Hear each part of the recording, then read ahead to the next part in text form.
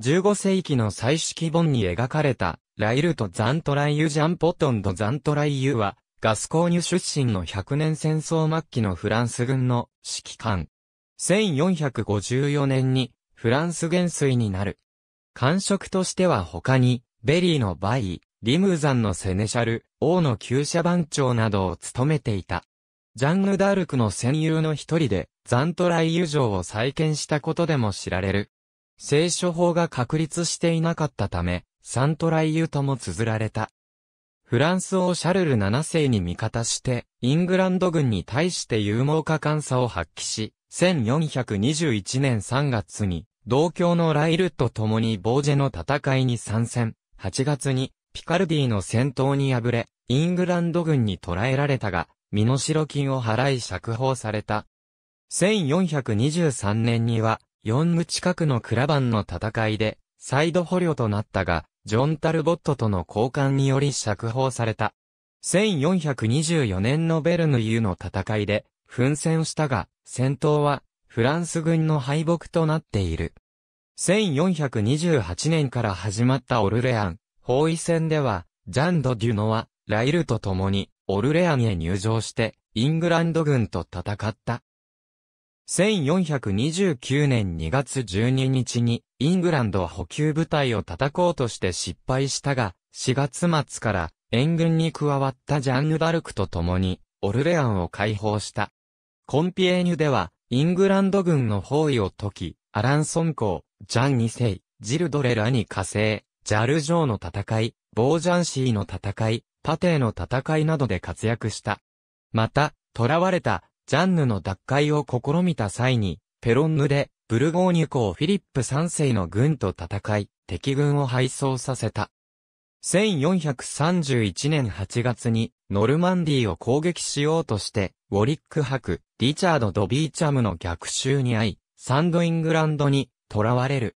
ウォリック伯の居城ブーブルイユ城で、軟禁生活を送った後、フランスを転々とし、時期は不明ながら、身代金を払い釈放された。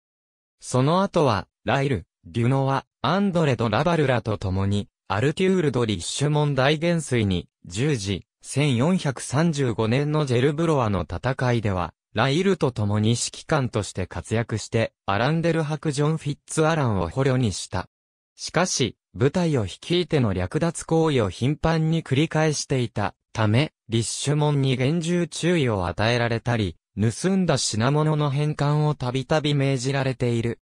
また、リッシュモンの命令でラ・イルと共に、イングランド軍攻撃に行くこともあったが、無計画に出撃したため1436年の戦闘でタルボットに敗北、1437年にもタルボットとトーマス・スケールズ率いるイングランド軍に撃破され、捕虜となっている。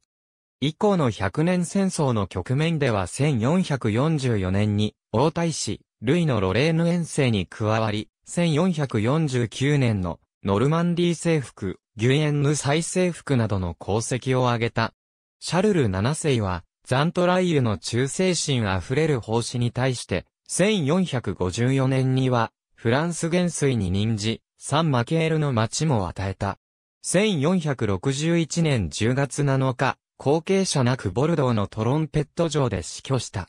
遺産は教会に寄付され、遺言はガスコーニ方言で書かれていた。